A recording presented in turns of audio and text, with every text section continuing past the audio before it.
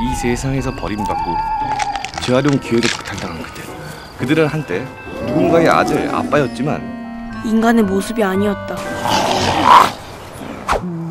백수주제에 술까지 낙하! 아버지는 뭐 하시니? 뭐 하시는 분이니? 우리 아빠는 뭘 하는 사람이지?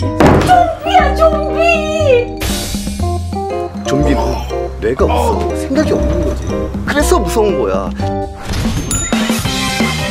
진짜로 기도합니다. 진짜 좀비가 없어지길. 충구 아빠가 제일 무서워. 좀비가 엄마, 동생, 낙찰 죽여버렸다.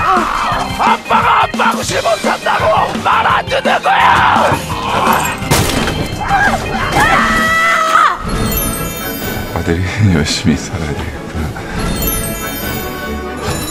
걱정 마. 아빠 쓰러지지 않아. 평범한 우리 집이 되기를 기도한다.